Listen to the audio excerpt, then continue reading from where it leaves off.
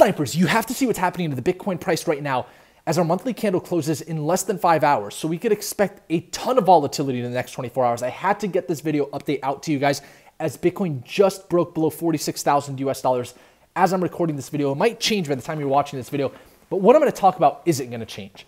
And that's the fact that every puzzle piece outside of the current price action in the small time frames are still very bullish for Bitcoin. On-chain analytics showing over $800 million of Bitcoin leaving exchanges and more fuel like USDT coming onto exchanges. Yesterday, we had a billion dollars of Ethereum leave exchanges. So, in the immediate short term, on chain analytics are solid. Now, what about the monthly candle? So, it went from a very bullish monthly candle to now like an indecision candle about to close in five hours. What do we want to see with this monthly candle? Here's what I want to see, and we'll move straight into the smaller time frames. Smash the like button for the YouTube algorithm snipers if you support these on the go updates. With this monthly candle, I would like to see a close above 44,800, which we currently have. Because if that's the case, just notice how if we were to just factor in the body and the wick below it, it could still be considered bullish symmetry. I'm not so worried about the monthly candle because the weekly candles are so strong. We had this very bullish reversal candle, a bullish continuation candle last week, and we're still above the 20 week moving average. Guess what, by the way? The 20 week moving average just came below 45,000 US dollars. So, the most important thing right now on the weekly chart is we stay above the 20 week moving average, which we are. And so, if we start going into even smaller time frames, and by the way, What's going to happen on the monthly chart will first happen on the weekly chart, which will first happen on the daily chart, which will first happen on the six hour chart. And it goes from the smaller time frames and morphs into the larger time frames. So that's why it's important to watch what's happening on the daily time frame. What is there to be worried about? We tested the 200 day moving average. If this was truly an important level, which of course it is, it's a very important daily moving average, then normal market behavior would at least have a pit stop to eat time off the clock at that level before seeing continuation. That's exactly what we're seeing right now. We haven't even tested the major support of 45,000. I'm expecting us to test it and hold it. If we even get to test it, if we don't test it, it could even be more bullish. But why is it important that we test 45,000? Well, if we're saying it's such an important support level, well, guess what? We've never even tested it once so far as a support. We only tested it four times as a resistance. And so coming to 45,000 is totally fine. And at this point, the range that Bitcoin is playing in has a resistance of 49,700, a support of 44,800. If at any point we get above 49,700, expect some momentum, as you guys know. Now, how are the revolving parts looking? Well, let's talk about Ethereum. Very similar to Bitcoin, also testing its 200 day moving average. And so far, the charts are telling us it's a significant level. It's totally normal to happen. But notice this it's holding above its weekly open as we speak, unlike Bitcoin below the weekly open. Is that bearish or bullish?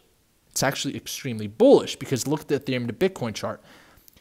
To us, this gauges market sentiment, tells us how confident institutions are in the cryptocurrency market. Because if they're willing to get into Ethereum, then that shows a lot of confidence, and then it eventually will leak into other altcoins, and then that's when the total market cap continues to increase. Bitcoin dominance drops, Ethereum to Bitcoin goes up, all coins outside of Ethereum go up. And so we want this to break out. But guess what? On the six hour chart, we did see institutional sell pressure on our last six hour candle. So I do want to bring this up. It looks like, based on the Ethereum to Bitcoin chart, if this was the only puzzle piece we were to factor in right now, that we did find a local top to at least move sideways in the immediate short term over the next few days and weeks. And I say that because this type of institutional sell pressure on the Ethereum Bitcoin chart does certainly justify that it at least comes down to test its previous weekly open just below 70,000 Satoshis at this point. And so I don't think we're going to see the Ethereum Bitcoin chart just now immediately break above 72,000 Satoshis and just all out go into a bullish trend. So this indicates sign of a slowdown. Now, why I'm so confident that it's just temporary is because guess what followed the gold to Bitcoin chart just like we predicted? Bitcoin dominance just moved below the 200 day moving average today. This is exactly what we were predicting and expecting, And it's exactly what we want to assume further price action to the upside for Bitcoin. So right now, Bitcoin dominance is giving us a very solid macro puzzle piece. The DXY, which is crazy because we predicted this exact price action after breaking above this resistance. We were expecting us to test 99.132 and then calm down. It's exactly what's happening. Guess what? We just tested the major support. Let's monitor this because if we break below this support, that's another strong confirmation that the DXY has found resistance and potentially could have formed a lower high, which is what we've been monitoring. And by the way, the Euro USD chart, which is inversely correlated, formed new highs today, which is very good to see because that assumes this could have potentially bottomed out as well. And since this is inversely correlated with the DXY, if this goes up, DXY comes down, DXY comes down, the strength of the US dollar comes down, asset prices get to continue their pathway towards price discovery. And so that's why that's important. So, very clear right now a couple things. Number one, it's the fact that Bitcoin dominance is giving us a strong sign that there's confidence coming back to the cryptocurrency market as we speak, despite Bitcoin seeing a little bit of downside. Number two is Bitcoin's monthly candles closing, and we're still above 44,800, which is all we were asking for from the start.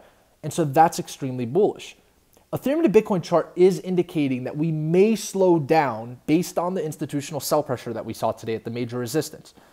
That's totally fine.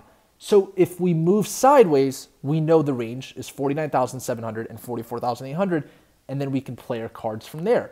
So I'm not concerned whatsoever right now. There's certainly no confirmation that Bitcoin has found its final destination here.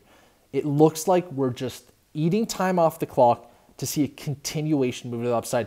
So it's totally garden variety market behavior, which means it's normal for us to see what's happening right now in the charts. It's actually expected to happen. It's what should happen. It's what makes trading a predictable source of income. And that's the fact that it's signifying it's an important resistance level. Maybe some people took shorts there. Totally cool. Take advantage of the short term volatility, right? We're not going to be shorting Bitcoin right now with all the fundamentals clearly on the bullish end. Altcoins starting to turn very bullish on the fundamental side with Ethereum's merge coming soon. So much is happening. In my opinion, what we're seeing right now isn't something to fret about. Take a deep breath and just be patient. That's what we have to wait for. The move for Bitcoin above 50,000 is going to bring in a lot of volume. We're already about to see that move.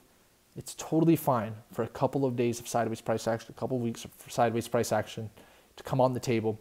I'm still very confident that we're going to hit our target of 58,353 with this breakout above 45,000.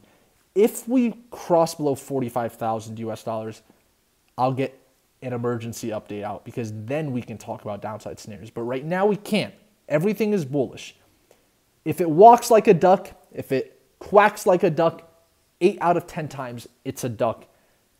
Don't deny the fact that things are looking bullish in the market despite the price action that we're seeing on a day to day basis. Everything looks normal. It's exactly how things should move. And so, with that, I'd love to hear your guys' thoughts in the comments below, snipers.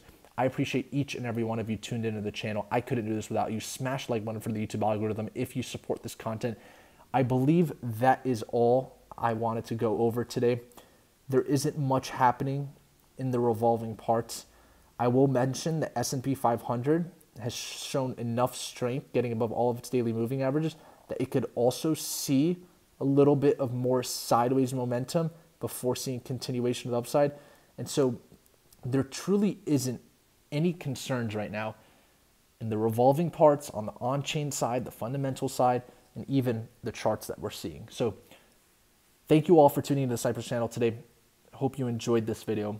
And until next time, I'll get a video out immediately if we break 49,700 or if we break 45,000.